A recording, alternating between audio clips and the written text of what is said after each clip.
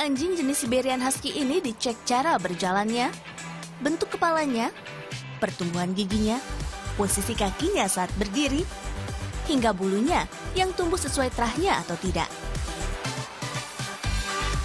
Inilah kontes anjing ras yang menampilkan anatomi terbaik.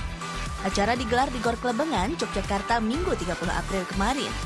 Selain husky, jenis anjing yang diperlombakan adalah Golden Retriever. Anjing yang dinilai memiliki anatomi tubuh terbaik akan jadi juaranya dan berhak atas trofi GBPH Prabu Kusumo. Ya hampir tiap hari lah latihannya kalau di rumah.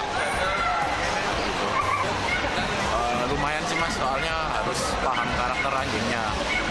Kayak gitu. Jadi ada yang anjing nakal itu uh, susah di stack namanya. Jadi ditata buat dinilai itu susah. Kontes bertaraf nasional diikuti peserta dari berbagai daerah. Hanya kecantikan aja, jadi nanti uh, juri akan menilai sesuai dengan anatomi. Uh, peserta total 86. Kalau jenisnya yang saya sebutkan tadi. Kalau untuk grup 8 itu hanya satu jenis. Kalau untuk grup 5-nya itu ada kira-kira 7 jenis. 7 jenis anjing. Kegiatan ini diadakan oleh Perkumpulan Kinologi Indonesia Daerah Istimewa Yogyakarta Klub Siberian Husky Indonesia, dan Golden Retriever Club of Indonesia. Sigit Pamungkas melaporkan untuk NET.